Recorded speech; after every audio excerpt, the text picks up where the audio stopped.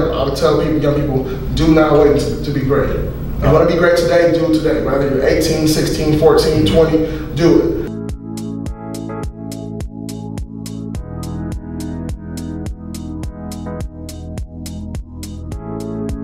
How you doing, Kalan? I'm good. How are you? Awesome, man. Thanks so much for uh, stopping by today. Thank you for having me. So you were recently elected uh, as state representative uh, for the state of Wisconsin, and Yes, you're actually sir. one of the youngest ever elected in Correct. uh, Wisconsin's history. Yep. So tell me a little bit about like that experience, uh, what obstacles you faced, what struggles uh, with being a young person running for office. Being a young person, being a young black person running for office, Yeah. comes with, being black comes with its own challenge, but being young and black while trying to do it is challenging as well. Yeah. Um, on the age piece, no, I was no one ever has run at 18 that I know of in Milwaukee, Mhm. especially not for a state seat right out the gate. Mhm. So for me to be running for a state seat, challenge came with that. People assuming that because I was young, I didn't have the experience. Even though I did, I didn't have the maturity, I didn't have the wisdom. I would go to some doors and I would get told that they have shoes older than me. I was like, well, you probably need some new shoes. Just, just I was assuming. But trying to get over the whole age, I ran, I ran a hundred day campaign, and maybe the first week or so, people were like, oh, he's 18, he's doing, didn't take me as serious. By the time those last seven days came about, it was like he's serious, he's gonna win this. Um, our mayor, he said that he knew I was seriously, and he knew I was gonna win. We had a street festival in my district, and I had t-shirts galore. Every, every almost everyone at the t-shirt had everyone at the festival had my t-shirt on, saying Haywood 20, 2018 vote. Um, and I think he said that when he knew I was serious and I was going to win. A month later, the results came in. I ran a very tough five-way primary.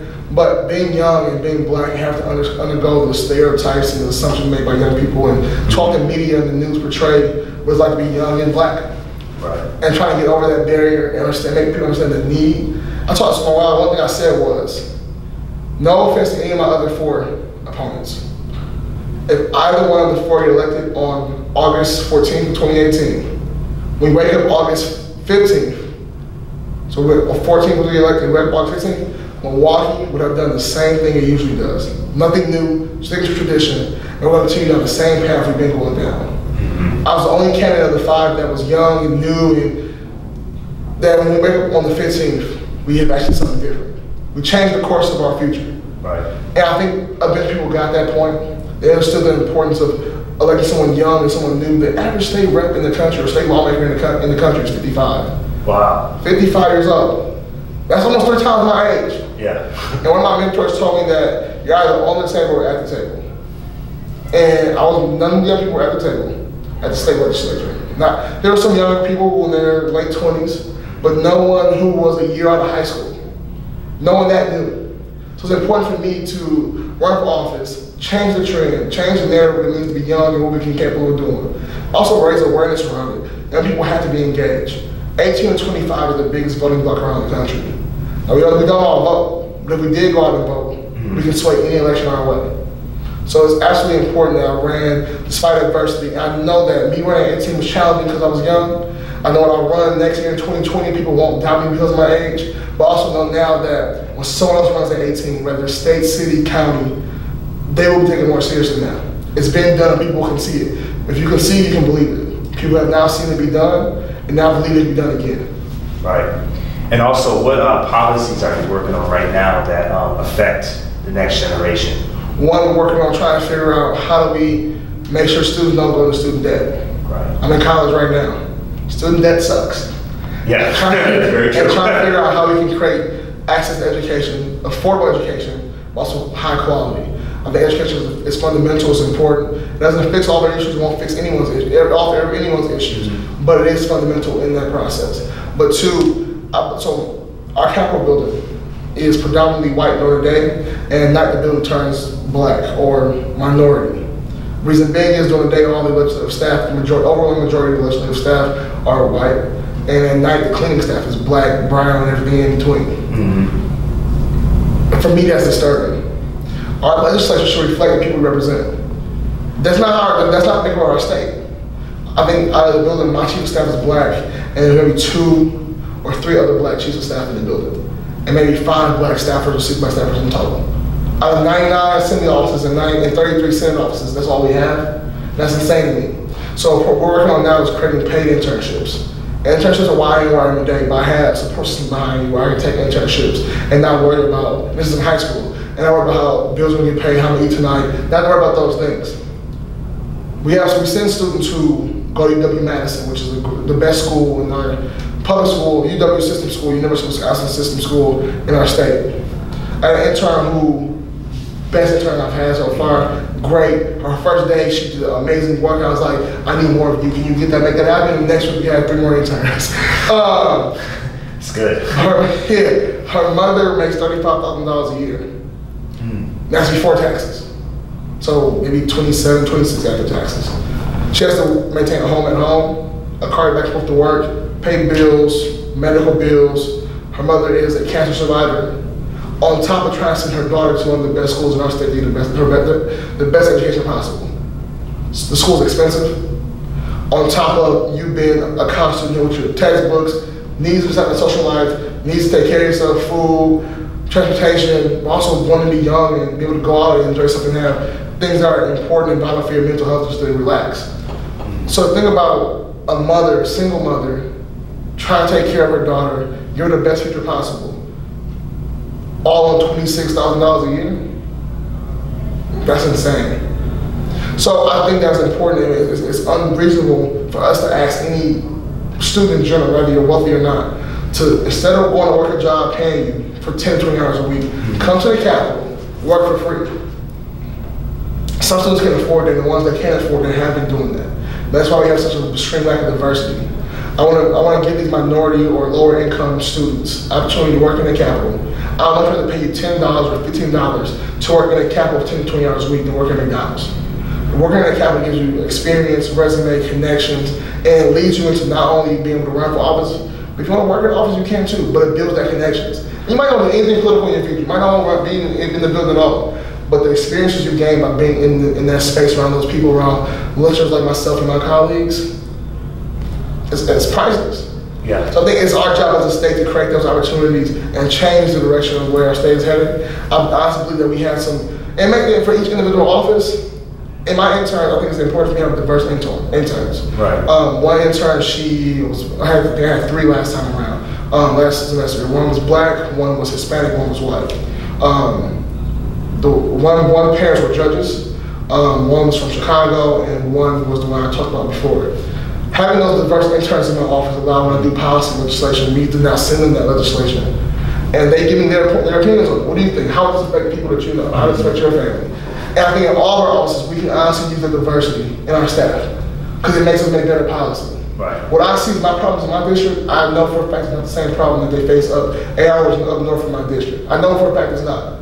So it's important that I have that diversity, have that inclusion, and for all my colleagues, the other 98 state representatives, the other 33 senators, to have that voice in their office. So I think it's important for diversity in creating legislation, but also create diversity in capital in the long game. We can do things to fix diversity now, overnight, but my plan is always to think long game. How we, what are we going to do a year, a decade or two from now? So I think this internship is important. It creates wealth at an early age, but also creates access opportunity that others wouldn't have otherwise. Awesome. Thank you so much for uh, doing that. But I also want to add to that. I want to say that you know by creating that internship, I think it also uh, helps with role models because a lot of these kids look up to to a legislator. Like when they go in that environment, they'll see, okay, I could be like that person.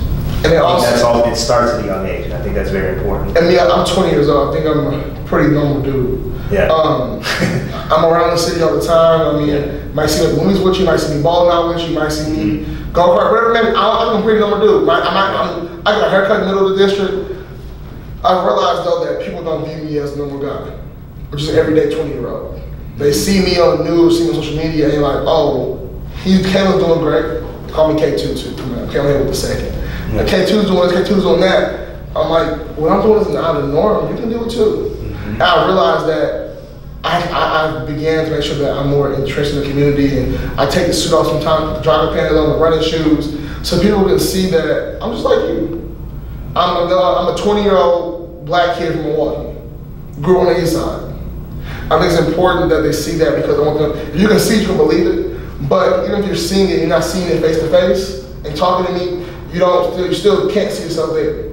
But now this internship, you're in my office every day. Mm-hmm. When you in a legislator's office, you begin to know them on a whole different level. If I meet you out in public, you meet me, we might have a conversation, we get lunch. When you in my office every day, you see me on a good, on good days, my bad days, my fun days, my boring days. You see that you begin to learn other aspects of me. And now I'm more than just a figure on TV or on social media. I'm an actual person, a humanizer. And I think it's important for us as legislators and lawmakers to make sure that we humanize ourselves so people can also see themselves being us. Because we want to do, create those pathways. I don't want to stay, let's stay here forever. I want to get in, do great work, and then let someone else come in after me and do great work, do better work that I couldn't do. Create more leaders. Yeah. I think it's something I have to bring up. Passing down, passing down the mantle. Yeah, awesome. So keep up that great work, Kalan. Will do. I appreciate all the work you do. Uh, also, what advice would you give that young person that wants to run for office one day or get involved in public service? Like, what would you tell them? For office, running for office, Yeah. anything in general, I would tell people, young people, do not wait to, to be great. If you want to be great today, do it today. Whether you're 18, 16, 14, 20, do it. If you want to run for office, there are other electeds around the country, myself, and other young around, around the country. Reach out to us. Instagram, Facebook, our emails to our offices.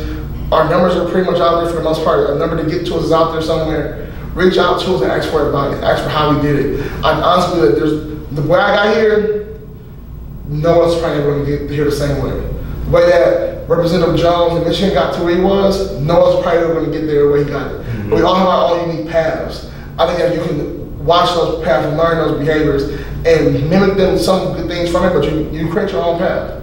You are in charge of your own narrative. I think that's important. So reach out to us, get the advice, take the tips. I always think that no matter who you are, whether you're three, year, three years old or 80, if you're black, you're white, you're Republican, Democrat, you learn something, learn something from everyone. I learn either something I like or I something I don't like, but I learn something from you. So call us all. Call 10 state reps around the country that are young and elected. Call us, ask us our advice. We might give you in total 10 hours of information we all gave you. Only 30 minutes of all that might be useful for you. But now you have that knowledge to build on and create your own path. So reach out to us. I'm always open. Um, there's, there's a guy who just reached out to me last week and he is running for state rep, in, I think, California. And I'm like, here's my cell, give me a call, to talk about today. And that's important. I I know the ones, the young ones I know they're around the country, open just like that. Give us a call, we'll help you out. Um, whether it's about raising money, some, some people reach out, I can raise money, and uh, I can tell you how I did it, I, It's not endorsement. so, um, and, and I think it's important that even all for us as electeds, we support each other financially. Right. That's super important. And um, financially, spiritually, emotionally, campaigns are a hard thing to do. Right. It takes an emotional, physical, and mental toll on you. And uh, those who have campaigned and won, or even have lost, can relate to that. So it's important that you're able to talk to us and like, I get what you're going through. But also, when you run for office, it's again, it's mentally draining, emotionally draining, physically draining. Probably the most I think you can do in life. Don't give up. Remember why you're doing it. Now, if you're doing it you're doing it for yourself, you're probably not gonna make it through the process. But if you're honestly doing it because you are a public servant you're doing it for the people and you care and you're doing something bigger than you, I guarantee you you're gonna get through it. It's gonna seem hard. I think uh, one thing important is even on my election night, I won. I boo cried. My entire campaign team boo cried because you have to pour your all into it. And it's a gamble at the end of the day. But you pour your all into it, and rather win or lose, if you can look back and say, I did everything I possibly could have did, you did a good job. If you look back like, oh, I could have, could have that, next time, do it again, and next time, do what you could have did or could have did. But don't let there be a next time you have to re- redo it. Right. Put your all into it, you put your all into it, and you're like, you know what? I won, this stuff, I earned it. Or I lost, but I gave everything I had. And then if you do that, you still won. So whatever it is, get out there, get it done. Reach out to us, call us, DM us, but get the help and support. Support is very important when you're running for office. Awesome. And Thank you you so gotta the well. It's already been done, so just figure out how we can redo it. Awesome. Thank you so much for that advice, man.